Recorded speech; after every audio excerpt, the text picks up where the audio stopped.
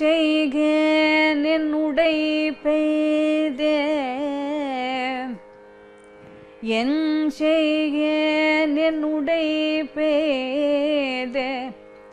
என் கோமளம் என் சொல்லும் என் வசமும் அள்ளல் நங்கை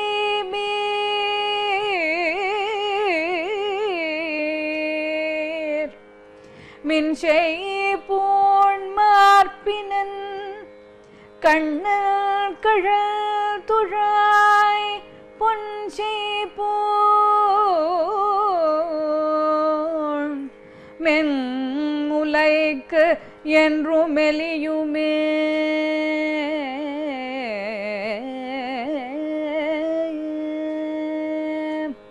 ஆழ்வார் திருவடிகளே शरणम्।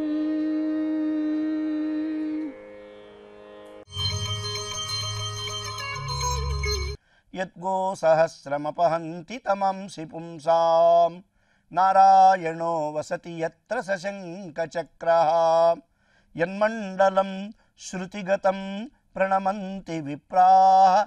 तस्मै नमो వకుళభూషణ భాస్కరాయ భాగవతోత్తములారా ఈ రోజున ఆ మహాప్రబంధంలో నాలుగవ శతకం దానిలో రెండవ దశకంలోని పదవ పాశురాన్ని స్వామి సన్నిధిలో విజ్ఞాపన చేసుకుందాం ముందుగా పాశురాన్ని అనుసంధానం చేద్దాం என் செய்கேன் என்னுடை பேதை என் கோமடும் என் சொல்லும் என் வசமுமல்லள் நங்கமீர் மின்சை பூண் மாறிபினன் கண்ணன் கழல் துழாய் பொன் செய்பூன் மென்முலைக்கு என்னு மெலியுமே ఆళ్వార్లు భగవానుని యొక్క కీర్తన ఎలా చేస్తున్నారంటే ఒక్కొక్కసారి తాను పరమాత్మని అనుభవించాలి అంటే అనేక రకాలుగా అనుభవిస్తున్నారు తాను తల్లిగా మారిపోవడం తాను కుమార్తెగా మారిపోవడం చెలికత్తెగా మారిపోయి స్త్రీలో ఉన్నటువంటి మూడు రకముల దశలని కూడా తానే అనుభవిస్తూ ఆ దశల్లో విరహంలో పడినటువంటి బాధలన్నింటినీ కూడా తల్లి రూపంలో పెరుమాళ్ళకు విజ్ఞాపన చేస్తున్నట్టు. శృంగార రసంలో మనకి నాట్యకారులు కానీ లేదా భరతాదులు చెప్పినవి రెండు రకాలు ఉంటాయి ఏమిటి సంభోగ శృంగారమని? రెండవది విప్రలంబ శృంగారము అని. విరహంతో కూడినప్పుడు ఏ మానసికమైన పరిపక్వత చెంది నాయికా నాయకుల యొక్క అవస్థలు ఉంటాయో దానికే విప్రలంబ శృంగారము. ఇది సంభోగ శృంగారం కంటే కూడా ఎంతో గొప్పనైనటువంటిది. ఈ శృంగారం ద్వారా పరమాత్మ రసావిర్భావం చేస్తున్నారు.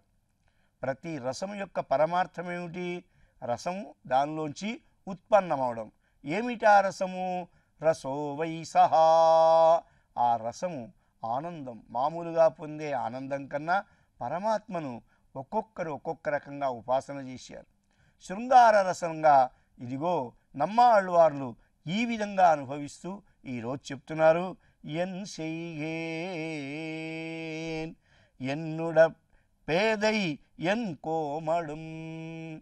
కోమడుం ఎన్నుడై పేదై.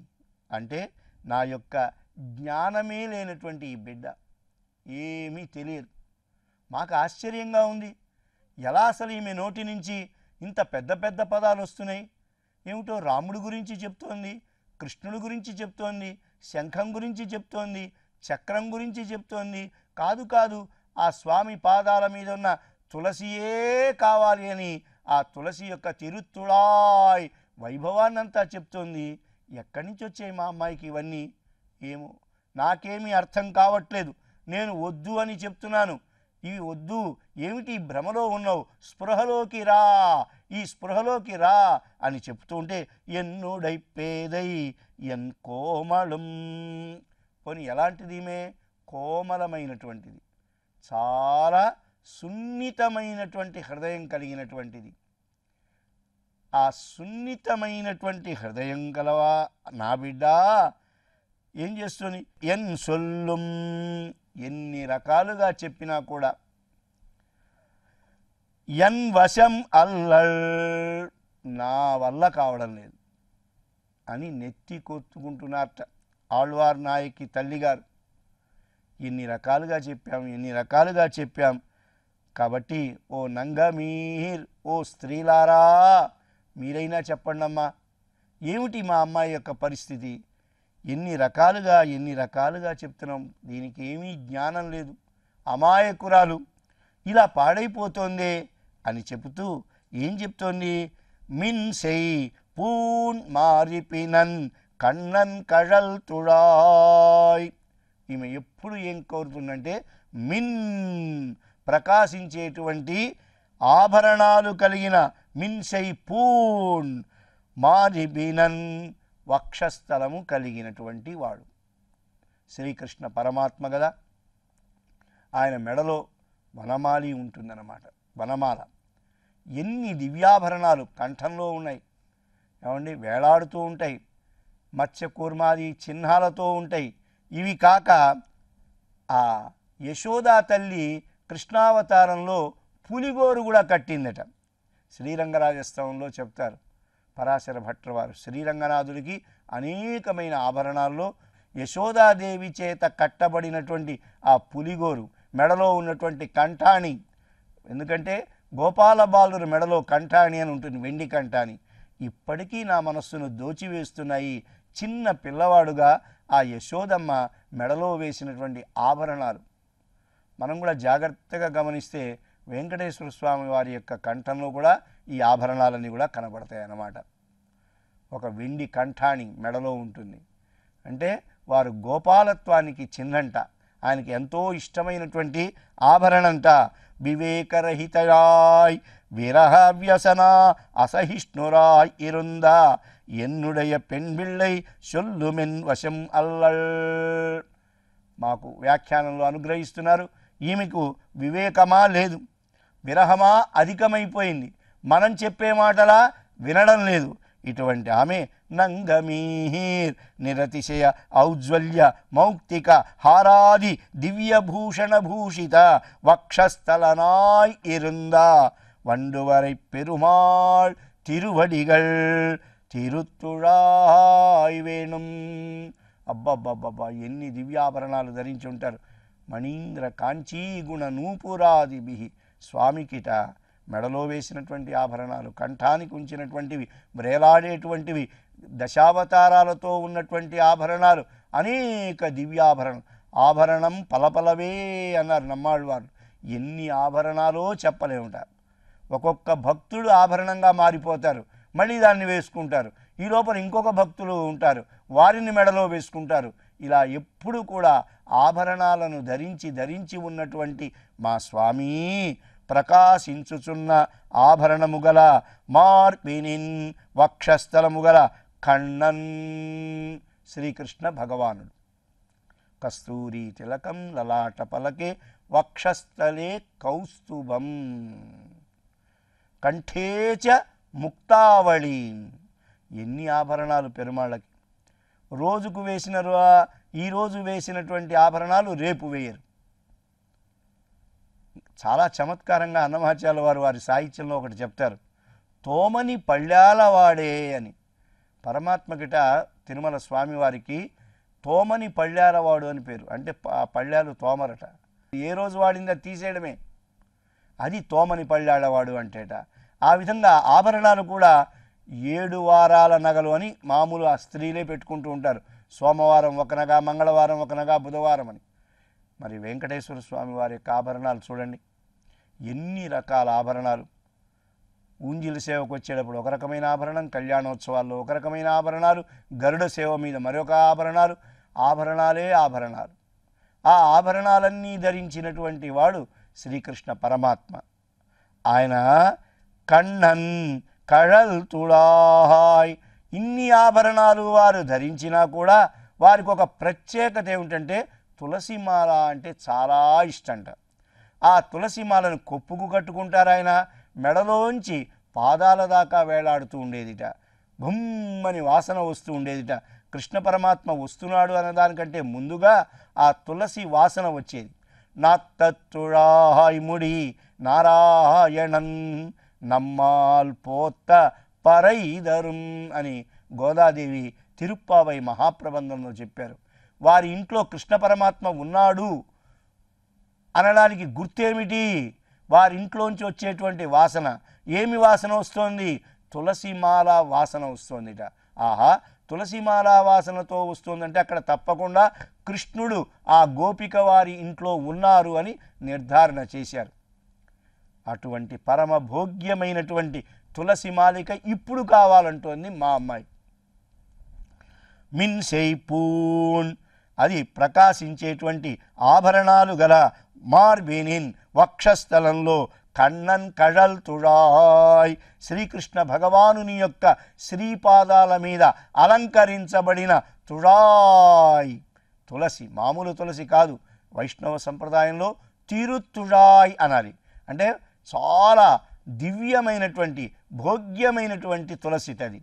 అది పరమాత్మకు సంబంధించిన సేవలు చేసేటువంటి ఆ తుడాయ్ పొన్ సెయిపూన్ దాన్ని తెచ్చుకొని బంగారంతో చేయబడిన పూణ్ ఆభరణములు గల మెన్ మృదువైన మూలైక్కు ఎన్ను తన వక్షస్థలం మీద దాన్ని పెట్టుకుంటోందిట ఈ అమ్మాయి. ఆభరణంగా ఉంచుకొని మెలియుమే. రోజు రోజుకి రోజు రోజుకి ఆ వాసన చూడడం వాడిపోతోంది. నన్ను ఏం చేయమంటారు? ఈ అమ్మాయిని చూసి మిగతా వాళ్ళు అబ్బా అబ్బా అబ్బా మీ అమ్మాయికి ఏమిటండి? సాక్షాత్తు కృష్ణ భగవానుని యొక్క తులసిమాలలో ఆనందిస్తోంది అంటున్నారు. కానీ నాకు తెలుసు ఆమె శిథిలమైపోతోంది వాడిపోతోంది. ఏమండి? అని ప్రతి వాళ్ళు కూడా అమ్మాయిని గురించి చెబుతూ గొప్పగా చెప్తున్నారు నాకు మాత్రం అలా అనిపించడం లేదు. ఈమె ఇలా పాడైపోతుంది ఇంత పిచ్చిదైపోయింది అయ్యో అని ఎన్నుడైపోయేదై నా యొక్క జ్ఞానం లేనటువంటి బిడ్డ. పైగా ఎన్ కోమడం ఎంతో మృదు స్వభావం. ఎందుకు ఇట్లా అయిపోయిందో ఏమో అంటూ నమ్మాళ్ళు వాళ్ళు తమ యొక్క బిడ్డ పరిస్థితిని తామే ఒక తల్లిలాగా మారిపోయి పరమాత్మకు తెలియజేస్తున్నారు. పరమాత్మ చూశావా? నీ తులసి మాలిక కోసం ఈ జీవుడు ఎంత తహ తహలాడిపోతున్నాడో అని. అది పరమాత్మకు సంబంధించినటువంటి వస్తూ పరమాత్మను చూడాలని పరమాత్మ తీర్థం తీసుకోవాలని పరమాత్మ దగ్గర శటగోపం తీసుకోవాలి పరమాత్మ దగ్గర తులసి కూడా తీసుకోవాలిటండి దేవాలయాలకు వెళ్ళినప్పుడు. దానికి పరమాత్మ యొక్క పరమానుగ్రహం మన మీద కలుగుతోంది కదా దాన్ని చెప్తున్నారు. ఎందుకని? ఈమె చాలా వైభవం కలిగినటువంటి గోపీమార్లు. ఆళ్వార్లు తమ బిడ్డ యొక్క వైభవాన్ని చెప్తున్నారు. సీతమ్మ తల్లి లాంటిది ఇది. జనకానాంకులే కీర్తిం ఆహరిష్యతి మే సుతా. మా అమ్మాయి ఆ సీతమ్మ తల్లి ఏ విధంగా అయితే జనక మహారాజుకు కీర్తిని తీసుకొని వచ్చిందో అంత గొప్ప జనక మహారాజు కుమార్తె ఎక్కడ ఉన్నారు ఇప్పుడు? అయ్యో అశోకవనంలో పలకరించేవాళ్ళు లేరు. చుట్టూరా క్రూరమైనటువంటి రాక్షసులు నిద్ర లేదు. ఆమె పడేటువంటి బాధలు ఇంత అంతా కాదు. రావణాసురుడు వస్తున్నాడు. ఏ సీతే నన్ను ప్రేమిస్తావా ప్రేమించవా? లేదంటే నిన్ను చంపేస్తాను. నాతో పాటు పిబా విహర తాగు విహారం చెయ్యి అని బెదిరిస్తూ ఉన్నాడు. రాక్షస స్త్రీలంతా చెప్తున్నారు అయ్యో లోకభర్త అయినటువంటి రావణాసురుని భర్తగా పొందు. త్వమగ్ర మహిషీభవా నువ్వు ప్రధాన పట్టమహిషివవుతావు మా మాట విను. మా మాట వినకపోతే నిన్ను మేము తెల్లవారుజామున రావణాసుడికి పెట్టవలసిన అల్పాహారంలో ముక్కలు ముక్కలుగా నరికి పెట్టేస్తాం అని బెదిరిస్తూ ఉన్నా కూడా సీతమ్మ తల్లి ఎలా ఉందండి అక్కడ? అనన్యదైవత్వమియం క్షమాచ భూమౌ చ శయ్యా నియమశ్చ ధర్మే శ్రీరామచంద్రుణ్ణే అనన్య దైవంగా స్వామియే నాకు రావాలి శ్రీరాముడే నన్ను కాపాడాలి అని పరమ భాగవతమైనటువంటి శేషత్వాన్ని ప్రకటించింది అక్కడ అమ్మవారు. ఆ శేషత్వ జ్ఞానం ఉన్నటువంటి ఆమె ఆ సమయంలో ఎలా ఉంది? వ్యథిత. చాలా బాధలు పడుతోంది. వ్యపేత హర్షాం. ముఖంలో సంతోషం అనేటువంటిది లేదు. బాధపడుతూ ఉంది. అటువంటి బాధ కాస్త ఎగరగొట్టాడు ఆంజనేయ స్వామి. ఎలా ఎగరగొట్టగలిగాడు ఆయన? ఒక్కటే. భగవన్నామాన్ని పాడారట. ఆ భగవన్నామాన్ని పాడినప్పుడు ఆమె ఆ నామస్మరణ ద్వారా దుఃఖాన్నంతా కూడా పోగొట్టుకుంది. ఇప్పుడు మా అమ్మాయికి వచ్చినటువంటి ఈ దుఃఖాన్ని పోగొట్టగలిగిన వారు ఎవరు? ఓ తల్లులారా మీరే చెప్పండి. సారామ సంకీర్తన వీత శోకా. ఆ రామ సంకీర్తన ఆంజనేయ స్వామి చేసేసరికి ఆ రాక్షస స్త్రీల మధ్యలో బాధపడుతున్న తల్లి ముఖంలో కూడా ఆనందం వచ్చింట సారామ సంకీర్తన వీత శోక రామస్య శోకేన సమాన శోకా. శరన్ముఖే సాంబుదశేష చంద్ర నిషేవ వైదేహ సుతా బభూవా. ఆచార్య రూపంలో వచ్చిన హనుమ రామ గుణ కీర్తన చేసేసరికి లంకలో బాధలు పడుతూ ఉన్నటువంటి ఆమె ముఖం చంద్రుడులాగా వెలిగిపోయింది అన్నారు వాల్మీకి మహర్షి. కాబట్టి భగవద్భక్తుల యొక్క ముఖోల్లాసానికి మందేమిటి? అంటే భగవంతుణ్ణి కీర్తించడమే. ఏమో మా అమ్మాయి పరిస్థితిని మీరు ఎవరైనా ఆ సాహసం చేయగలుగుతారా? మా అమ్మాయికి అసలు జ్ఞానం లేదు అంటూ ఆళ్వార్లు తమ బిడ్డ యొక్క సంగతిని సీతామహాసాధ్వి ఏ విధంగా అయితే లంకలో ఉన్నదో అనిద్రాహ ఎప్పుడు చూసినా కూడా రామ రామ రామ అంటూ గడిపిందో అలా గడుపుతోంది. ఆమె చెప్తారు శోకేన దుఃఖేన చ పీడితాయా శోకం చేత దుఃఖం చేత నేను ఉన్నాను. అటువంటి నాకు ఎక్కడ నుంచి కళలు వస్తాయి? కళ ఎవరికి వస్తుంది? నిద్రపోయేవాడికి వస్తుంది. నిద్ర లేని వాడికి ఎలా వస్తుంది? అని సీతమ్మ తల్లి వాపోయింది. ఆ విధంగా మా అమ్మాయి నిద్రపోవడం లేదు అలా ఆలాపనలు చేస్తూ ఈమె మరి ఇలా ఉంది ఈమె పరిస్థితి ఏం చేయాలి?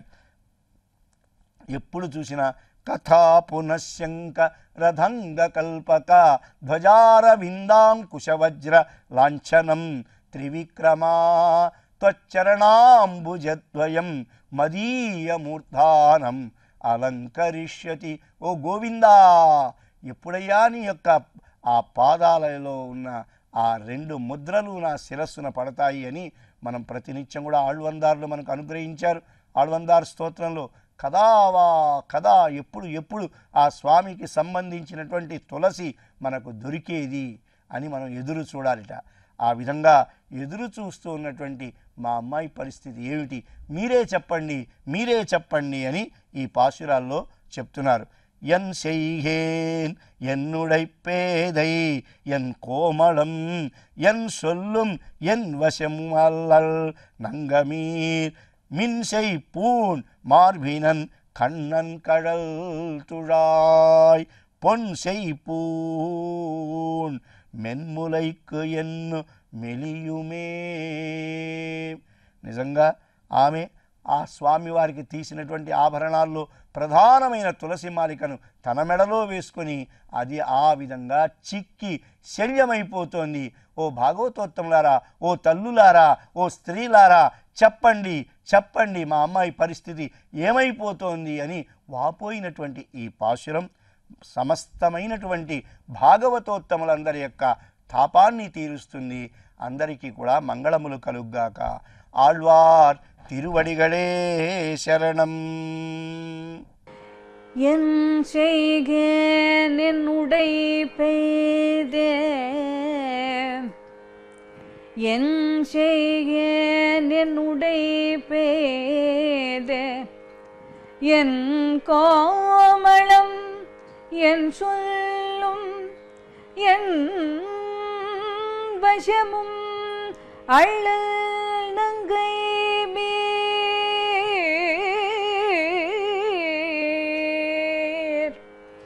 மின்சை பூண் மார்பினன் கண்ணல் கழல் துழாய் பொன்சே பூண்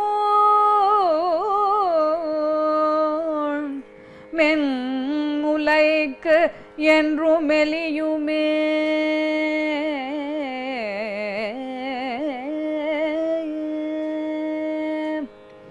ஆழ்வார் திருவடிகளே शरणम्